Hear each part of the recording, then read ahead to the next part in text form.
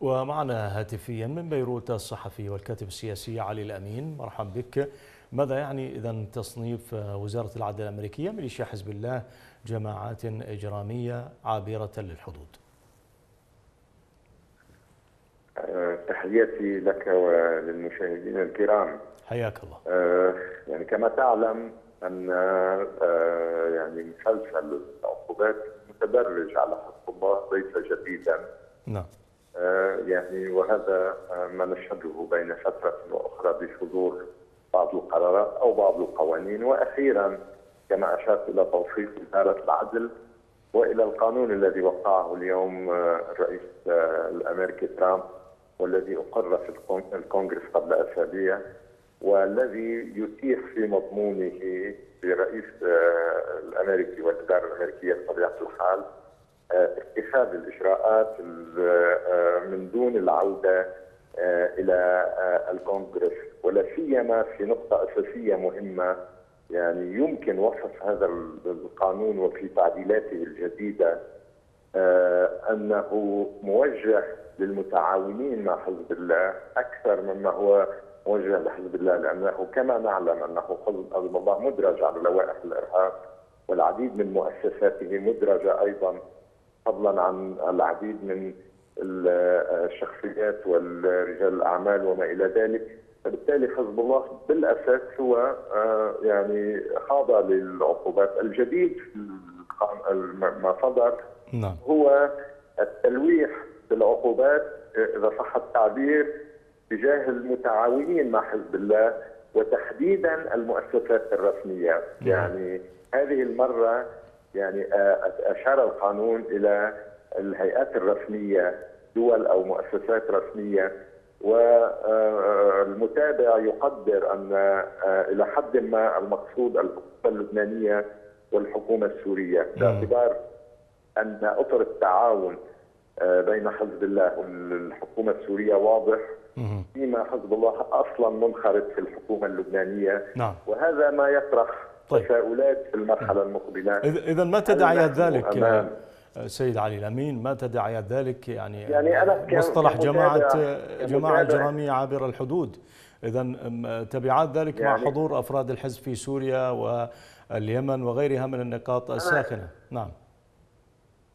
برأيي يعني حسب متابعتي أن المقصود هذه المرة في العقوبات هو المتعاونين مع حزب الله وتحديدا القوى السياسية وجهات رسمية داخل الحكومة اللبنانية، لكن في نفس الوقت يطرح السؤال يعني في حال نفذ هذا القانون بحذافيره فهذا يعني برأيي إلى حد كبير إنه سيضع لبنان أمام يعني تحدي أساسي. بمعنى إنه لبنان إما أمام انهيار اقتصادي ومالي أو أن الحكومة اللبنانية أو الجهات الرسمية وعلما ان حزب الله موجود داخل الحكومة نعم. يجب أن تأخذ أو أن أن تنفصل عن العلاقة مع حزب الله.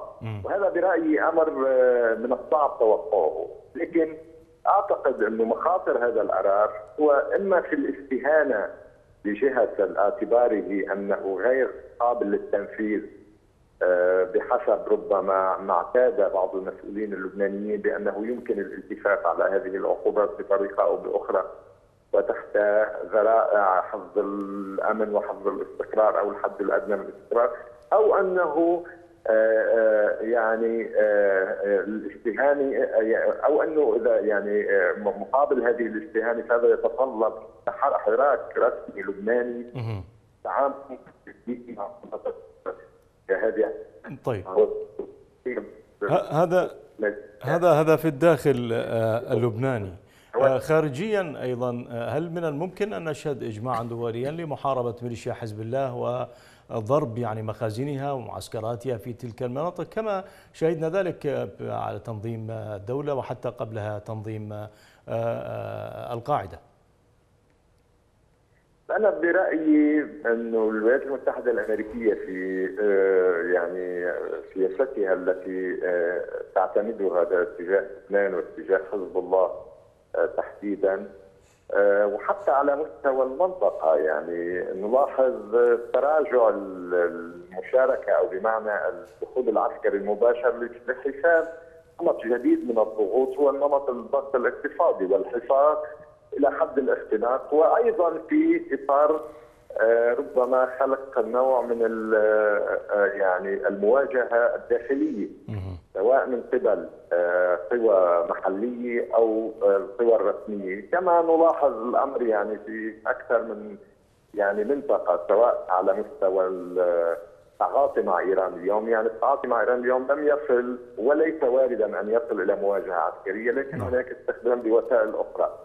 فيما يتعلق بحزب الله أعتقد إنه القرار الأخير آه، هو رسالة إلى اللبنانيين وإلى الدولة اللبنانية بأن آه، كلفة وجود حزب الله الصيغه الحاليه الموجود فيها بلبنان ستكون عالية على لبنان. نعم. وبالتالي على اللبنانيين أن يتحملوا المسؤولية آه، تجاه هذا الأمر لأن الولايات المتحدة الأمريكية لن تتهاون.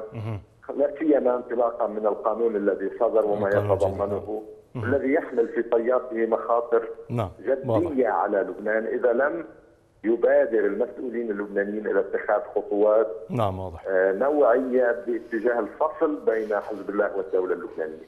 من بيروت الصحفي والكاتب السياسي علي الأمين شكرا جزيلا لك.